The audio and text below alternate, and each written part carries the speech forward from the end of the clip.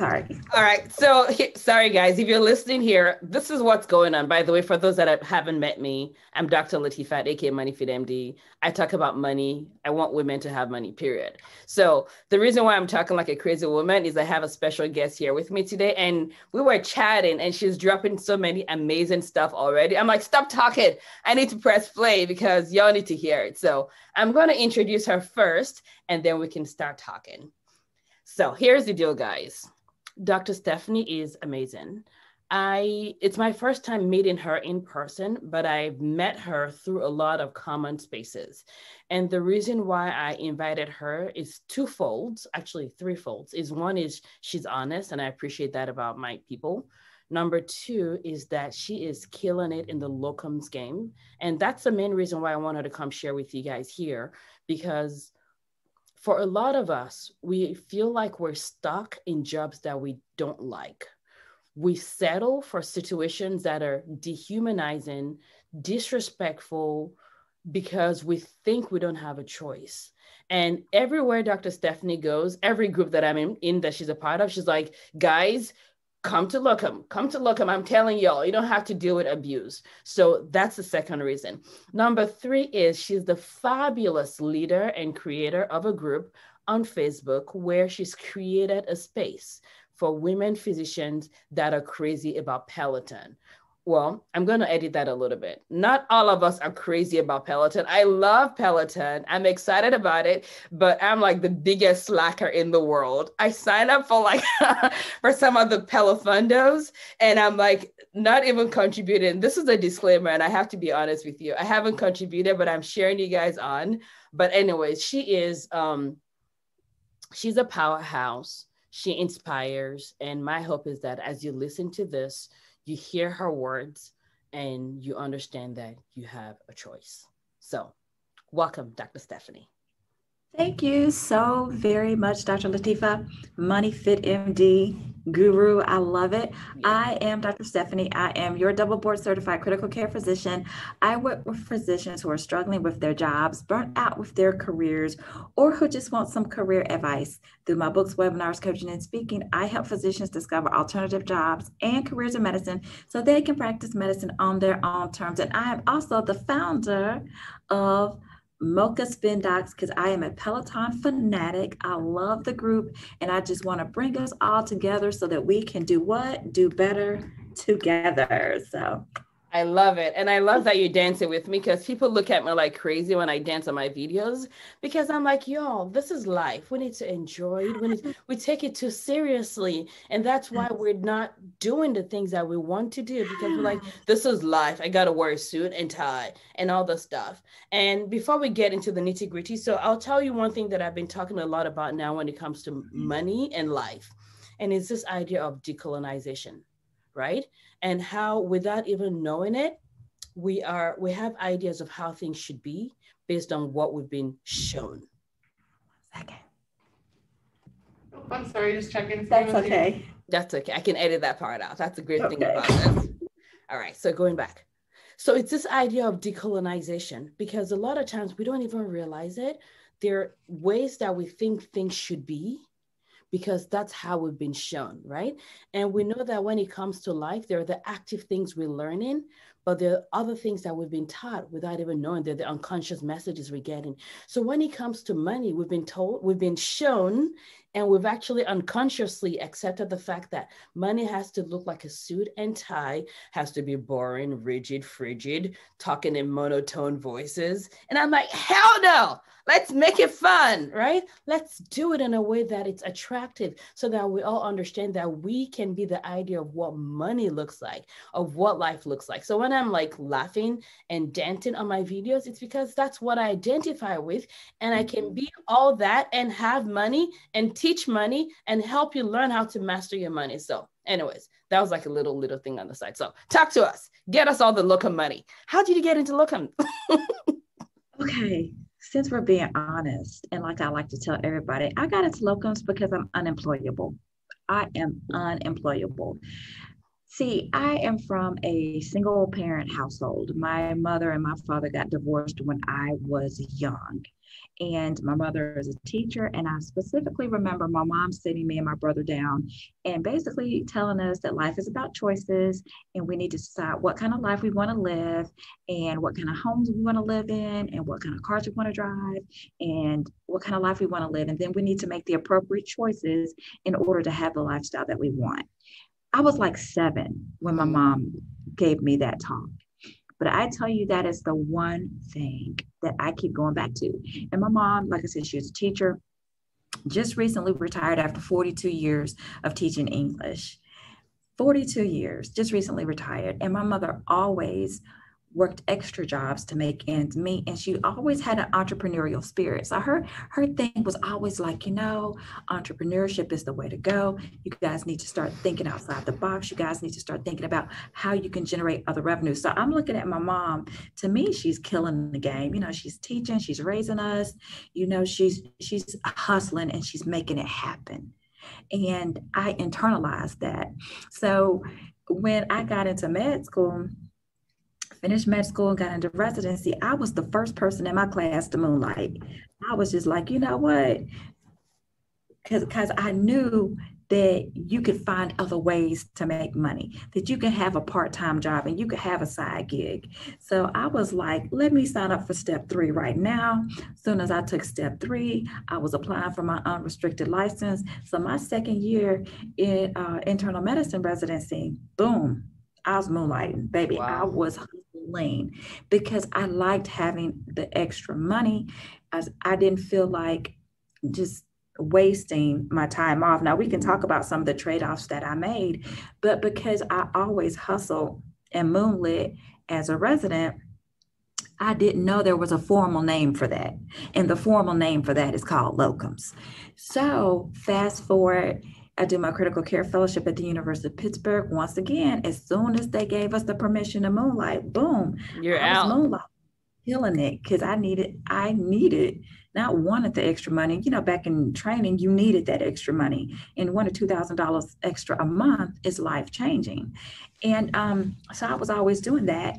And so when I took my first job as an attending physician, when I finished up at Pittsburgh, y'all know how training prepares you to practice medicine, but it doesn't prepare you for the real world. Got out there, so idealistic bringing critical care from the University of Pittsburgh to a private, suburban, white hospital who was not used to the intensivist practice model. Hmm. Long and short of it, got a phone call, contract not renewed, first job out, devastated, hmm. killed me. I'm like, oh, that's not supposed to happen to physicians. We're not supposed to be fired because technically that's what it is. You know, contract not renewed. I'm like, damn, what am I going to do? I had just bought a house. Uh, how am I going to make these ends meet? But guess what? Because I already moonlit and I never gave up my side hustle jobs. When I took my first job, still had my credentials, still had my privileges at the other hospital. I was like, Yep. Hello. Hey, this is what happened. Do you have some shifts available? So I was able to transition over you know, fast forward maybe a, a couple of weeks later, I had gone to a conference, SCCM conference, and I see this big display from a, you know, locums agency. And I'll never forget it. I was with my friend. I walked over, started talking to the lady, and she was saying blah, blah, blah. But um, I was like, huh, got, and I signed up, called recruiters, and the recruiters called me. And to me, it just fit naturally because I had always moonlit. I had always done that. So I was like, You're going to pay me how much? How much? To do what? Where? How much you paying? I did this. A calculator. Sign me up. And so there it began. And um, I went back to school to get my MBA, did locums while I was getting that. But I will be honest with you, Dr. Latifa. I um, didn't always embrace the locums lifestyle because I was embarrassed that I was doing locums. I was embarrassed that I lost my first job. I was scared to get another job um, because we had not been taught in medical school and residency and fellowship that there are other ways that you could practice medicine. We had not been taught that. We had been taught that you either do private practice, academics, or you work for somebody. Nobody told us that you could work for yourself as an independent contractor, freelance physician. And because I was the only person that I knew doing that, I didn't have the self confidence to own it. So Hmm. what did I do? We know what happens when we make decisions out of a place of fear and not out of a place of faith. When we let fear drives up, drive us, we make bad decisions. So what did I do? I made a bad decision. Not really bad at the time, but I took a job, was like, well, I can't keep doing locums. Well, why can't I keep doing locums? Mhm. Well, I can't keep doing locums. I'm gonna go back to Kentucky to do loc where I had done locums. I'm gonna go back to this place to take a permanent job there. Fast forward nine months. I'm like, I can't do this. So then what do I do? Take another j- bad job. Fast forward nine months, and they like, we can't do you. You need to go. So guess what? Now that time I had been racially discriminated against, sexually harassed, and then fired, and then had my livelihood threatened. So Hmm. then I had to get legal representation. I had to pay $40,000 worth of legal fees, seven months in the process before I was able to move on. wow. No. You know what? I cannot do this. I can't be in that situation again. I cannot be in that situation again. So I was like, I have to own this and take control of it, but still, still didn't learn. Moved to Houston, still took these other jobs as now I'm 1099, but then I'm like trying to do a long term 1099 thing.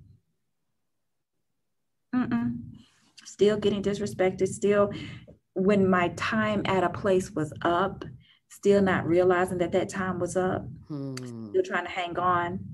And I finally just had to embrace the fact, and I will tell everybody that I am unemployable because the minute I feel my time is up at a place, the minute I feel that it is no longer, they are no longer appreciative of me of being there, the minute I feel that I am being tolerated and not celebrated, and the minute I feel that my spirit is like it's time for you to bounce, I bounce.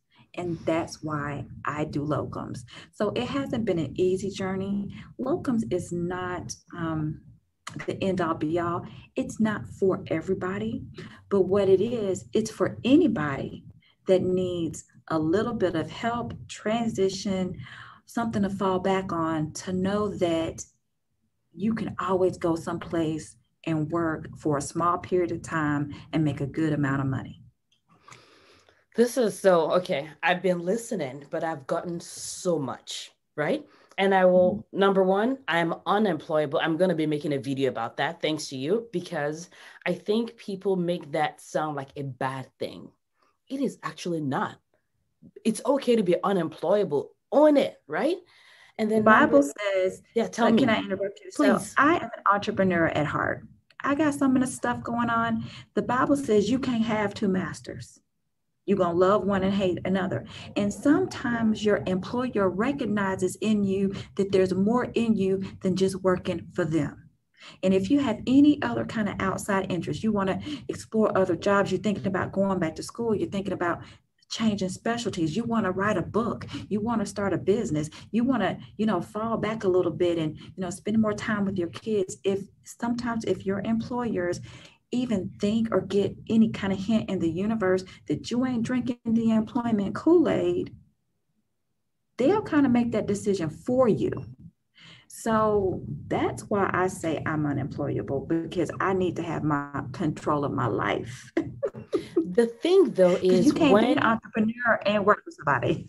the thing is when you when you realize or when your employer realizes that you are someone that has your voice and doesn't want that voice um, sort of like dulled down they may let you go but the challenge is a lot of times we make that mean that we are bad we're suck we're horrible we're not good enough That's right. when in fact what we've been doing is we're trying to fit into boxes that are not us, that were either not made for us in mind or that are not just us. And we need to take our genius somewhere else because if we find what our genius is, if we find that thing that's us, then it feels like home. Mm-hmm. So tell us how you've made this your home. Oh my gosh, I've made it my home. I've made locums my home because I can make my home what I want it to be. My home is everything that I am as a person. I can explore everything that I want to explore as a human being. And what I do, I don't plan my life around my job. I plan my job around my life. I decide what I want to do, and then I look at my calendar and block it off and then fill in my shifts accordingly. And that is how I have owned this and made it my own. Sounds so empowering, right? Because you can literally say, How much do I want to make this year? Okay. Welcome. Where? Sure, I'll be there for two weeks. Sure, I'll be there for one week. That is exactly what I do. That's awesome. That's awesome. So let me ask you, and I know we didn't talk too much about personals before. Feel free to share as little or as much as you want. Sure. Do you have any kids? Is this something that you think works for people, regardless of whether they're parents or not? I do not have kids, and that is why I am able to travel. However, I do know women who do have kids who do travel for locums because guess what? Their significant others actually takes care of the kid when they're not at home revolutionary concept that you actually expect the person that you procreated with to be able to keep your kid alive in your absence. And I think that that's one thing that women need to flip that script and we need to start demanding that our partners pick up the share. Like if so, for example, I tell a lot of I have a lot of clients that are moms. I'm like, you know what? Maybe you can't go someplace for two weeks, but can you go for two days? Can you can you go on an assignment that is within driving distance of your home and be gone for Saturday and Sunday? Can you do that? Because even if you can do something as simple as that, that extra five grand that you can make can change the trajectory of your family's financial future. Can you get your husband or your significant other or your wife to watch the kids for 48 hours? Can you have your mama or your auntie come watch the kids for 48 hours while you go and do something that is going to change the trajectory of your family and your children's family? And that's how we have to start thinking of this thing. Now, let's say you let's say you can't. Let's say it's just you. Ask you something else do you have an extra eight hours a week that you can go somewhere at night and work in their urgent care? Or do you have an extra four hours a day on a Saturday in which you could do some chart review? Or you can do some telemedicine visits, or you can go and do some disability evaluations, or you can take six hours a week and do legal review there's so many opportunities for what I call locums, but I call what I mean is any type of thing that you can do in which you can generate additional income outside of your nine to five W 2.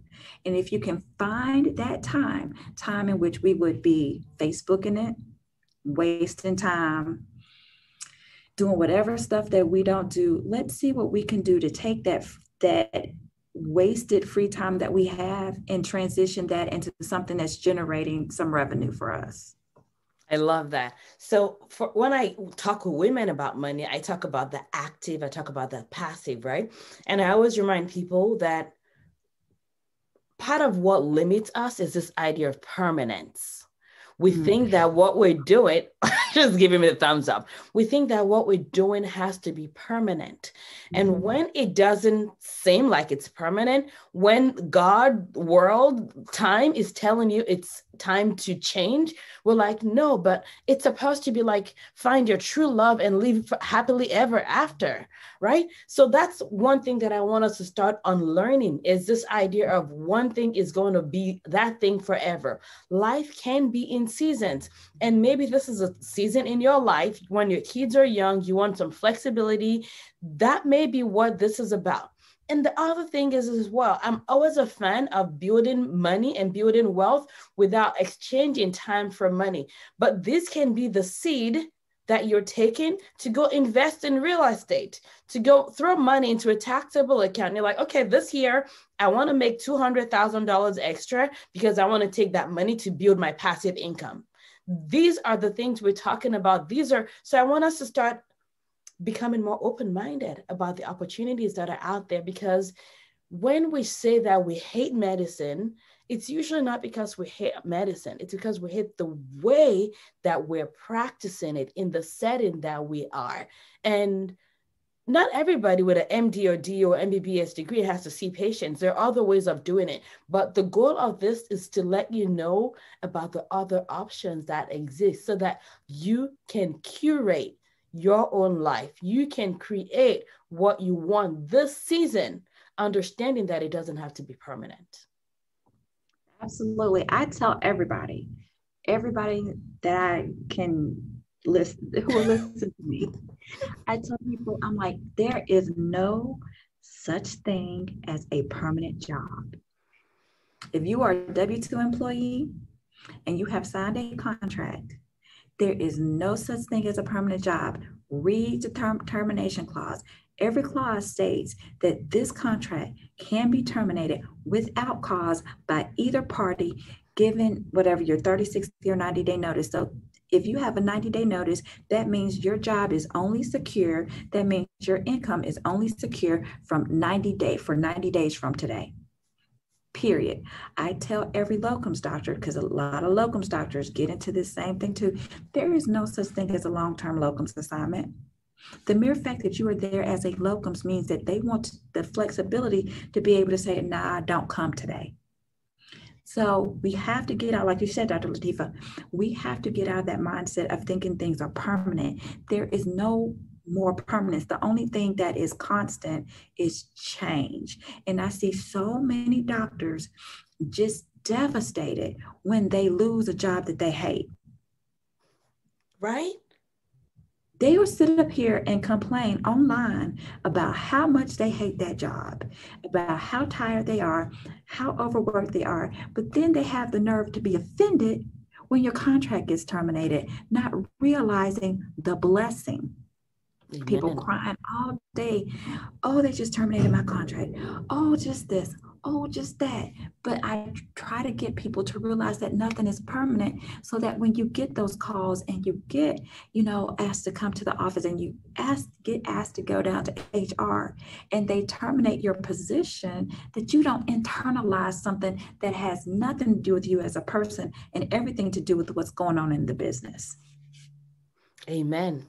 Amen. Amen. Right. Because, and it's normal that's our default as humans is we always point to our first ourselves first to find where the problem is because we want to fix it. So when they're like, it's time to go, we're like, oh my goodness, I must have been horrible. I must have been whatever. But maybe the reason why they're letting you go is because they're like, um, we want doctors we can control. Or they're like, uh, we want extra whatever bonus for ourselves. So we need to find doctors to like get that away from, right? So the thing is, as unfair as that sounds, when we make it about our character, it can be so destabilizing and it can be dehumanizing. But what we need to understand is these are transactions.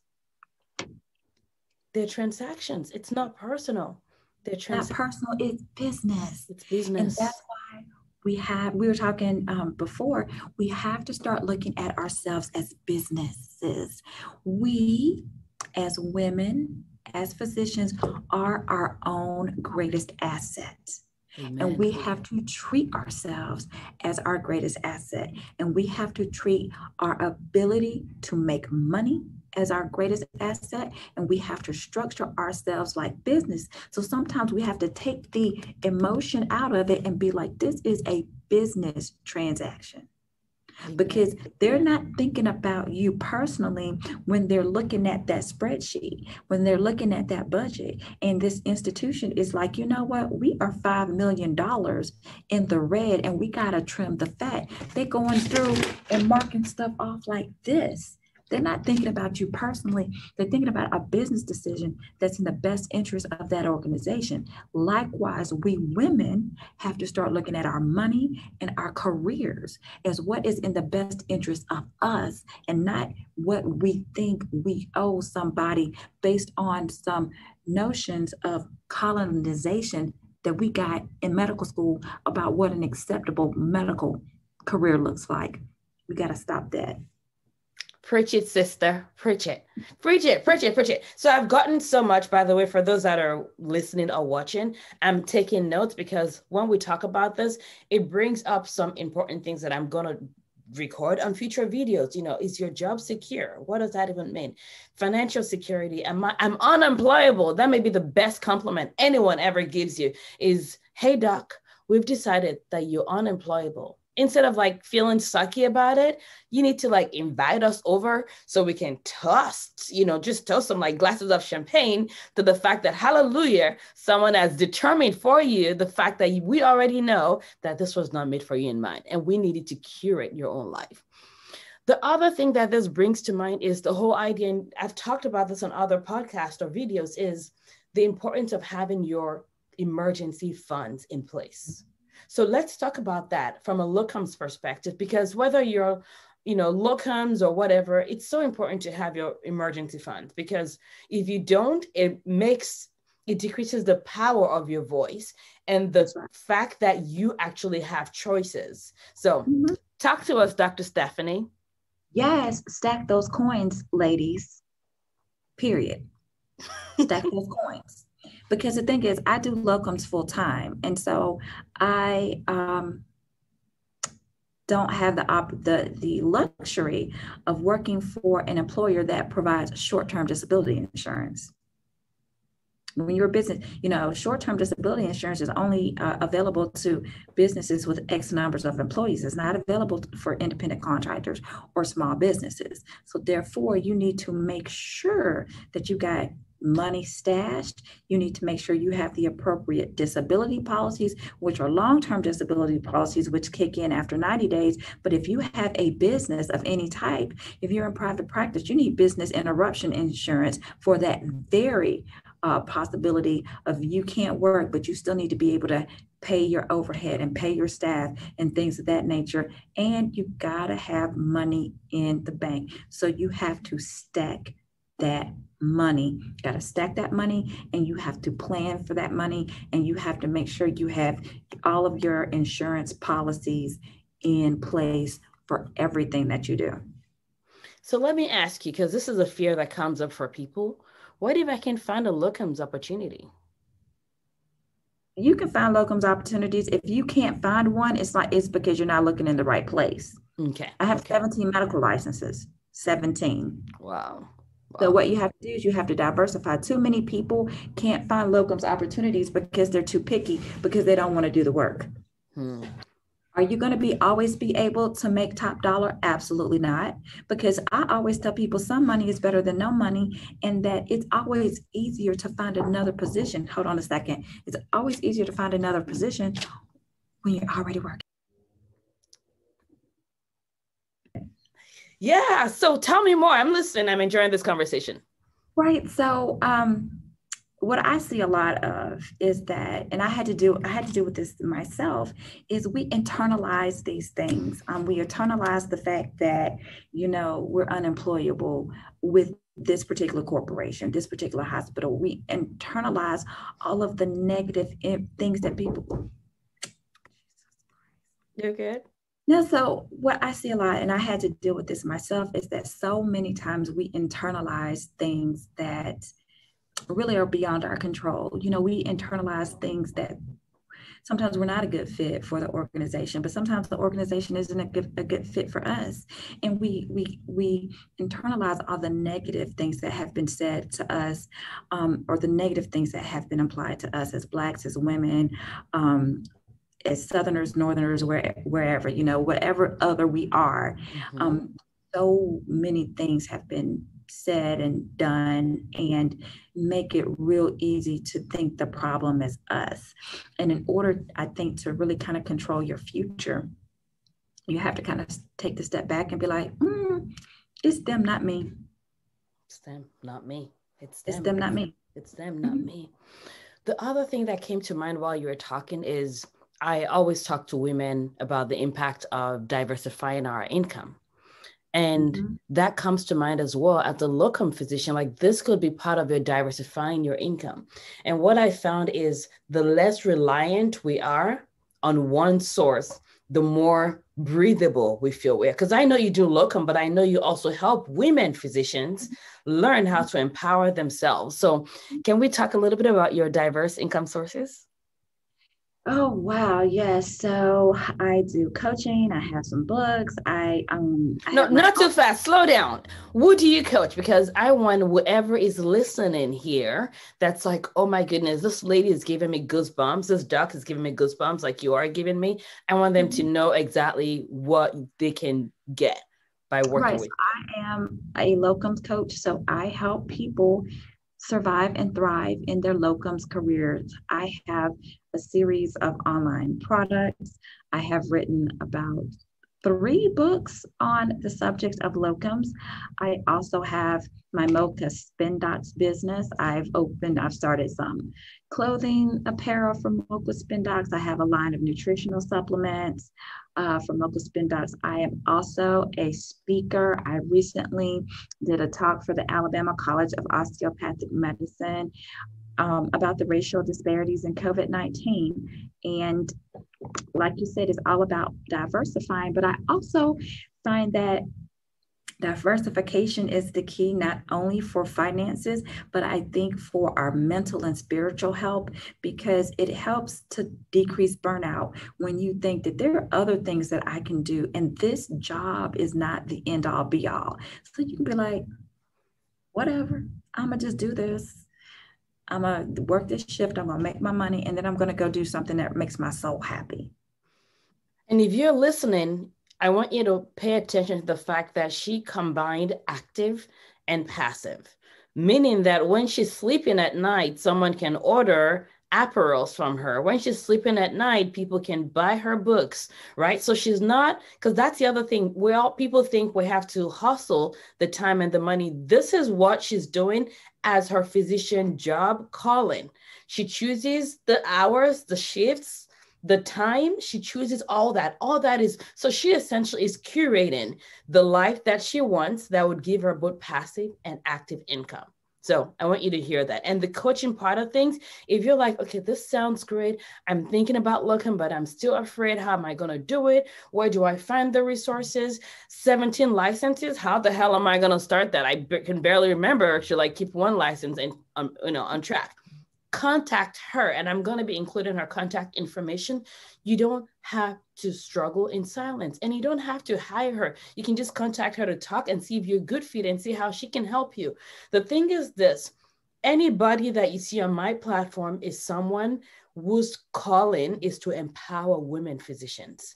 And that is what this is about. Her goal is to help you. My goal is to help you because when you win, we all win, right? When we all get the power of our voice, it's one less doctor that's tapping out of the game.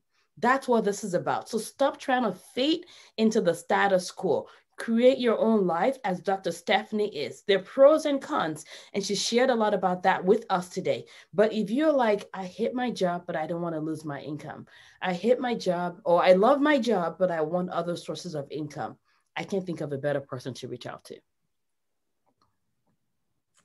And there's that. yes, right? Because it's the truth. All right. Tell us what else you want our people to take away from this call.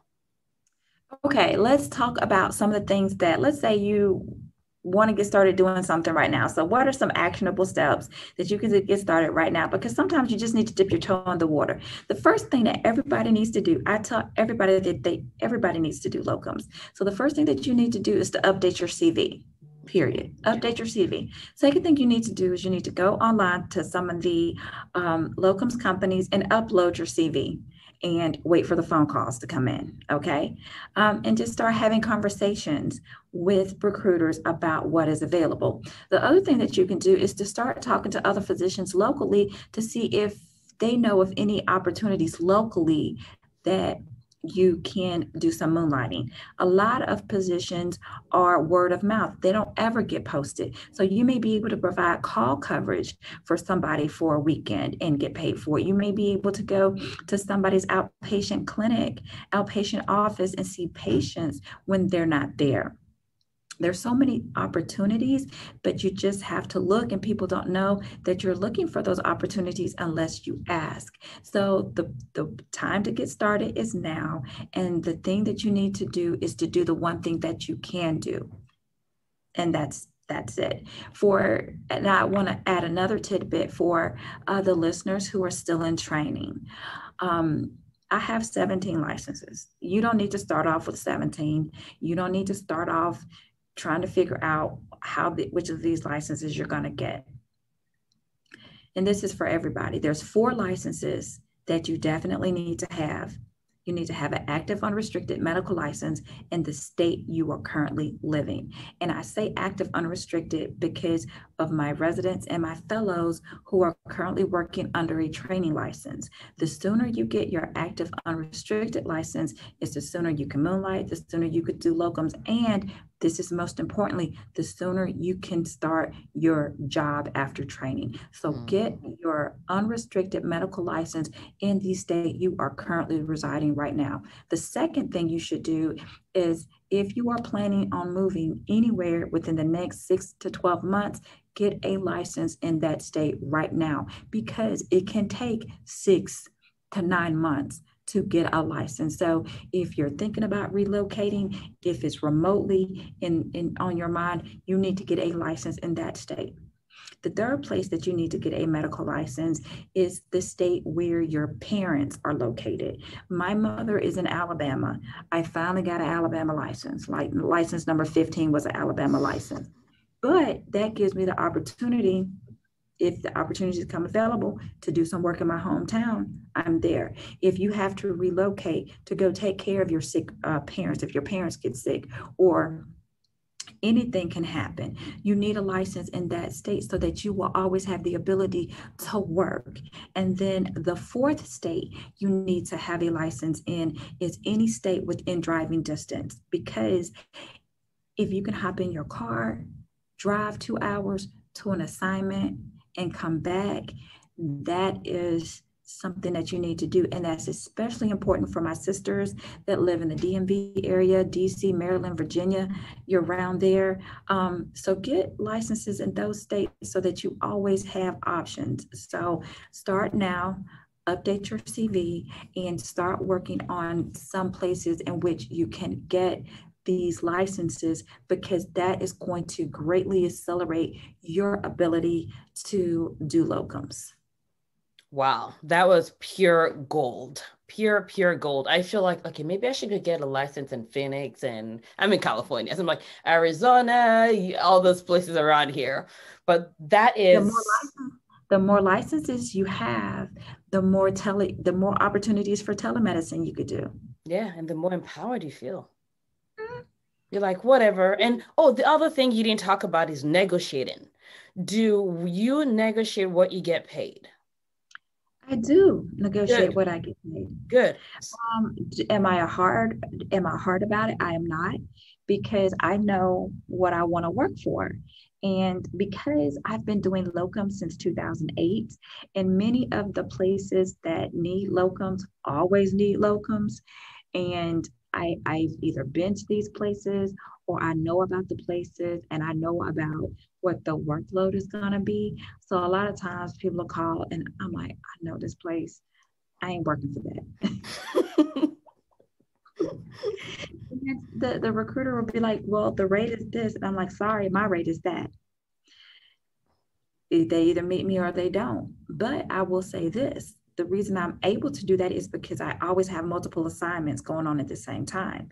Now, when my assignments dry up, am I hardball about it? Am I, no, I'm not, because some money is better than no money. And you don't need to walk away from a $25,000 locums assignment because you're nickel and diamond over $10 an hour. Mm. That's stupid. Yeah.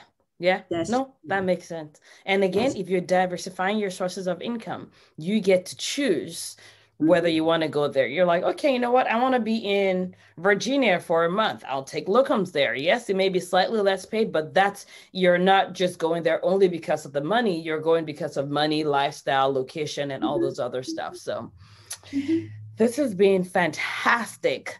So, how can people find you? I am always on Facebook. find the Mocha Spin, you know, group. You'll find her there. Actually, you know, I'm actually on Facebook, so you can actually DM me on Facebook, Stephanie E. Freeman. You can also email me at Dr. Stephanie at drstephanieicu.com. And that's that's how most people get in touch with me. I'm but I, like I said, I'm always on Facebook. Fantastic. so just slide into that DM, you know, and uh, we can chat. I cannot say how helpful this has been to me. And I know for sure, without a doubt, that it's just going to help so many people. Most of my audiences are women physicians, but I know some men also listen. They reach out and, mm-hmm. like, oh my goodness, thank you, whatever. And I know that this is going to help them too. So, from all of us want to say thank you for spending time with us thank you for what you do thank, thank you for you. recognizing who you are and just running with it and i know the process is never easy right we all learn it's like you bruise and all that stuff but your experience is now being used as a lesson and as a gift to other women physicians. So I want to say thank you for sharing your story with us. Thank you for having me. And one more thing that I want to tell everybody that we talked about in the pre show is that locums is the best kept secret. It is the best kept secret in terms of um, physician work models. And there is a reason for that. And I like to tell everybody that the, the amount of money that can be made is so amazing that all of my locums recruiters, they're men, they're married. Their wives stay home and raise their kids. Meanwhile, we women are out here working. So let let let let that sink in about the amount of money that's been allocated to hire locums doctors and the amount of money that you can make in this industry.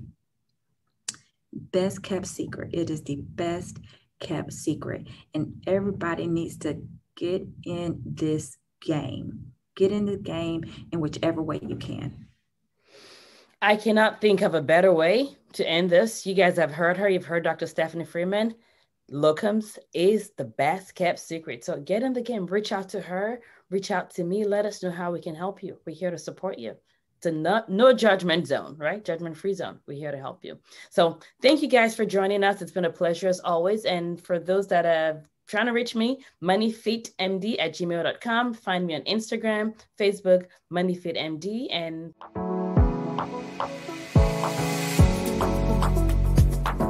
have a fabulous rest of the week. Bye bye.